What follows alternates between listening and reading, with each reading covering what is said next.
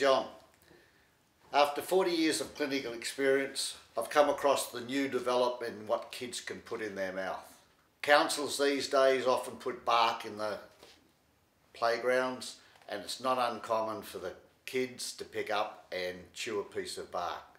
So what do you do with a piece of bark? Well, make sure first of all there's no breathing problem. If the child's got no breathing problem, you've got all the time in the world. All you've got to do is keep a check on the child's bowel actions and recover the piece of bark. If after two days the bark isn't out, then it's probably worthwhile getting the opinion of your local GP. Remember, swallowing bark is pretty common, not going to cause any problems once you've made sure there's no breathing problem. Thank you. This is Dr. John.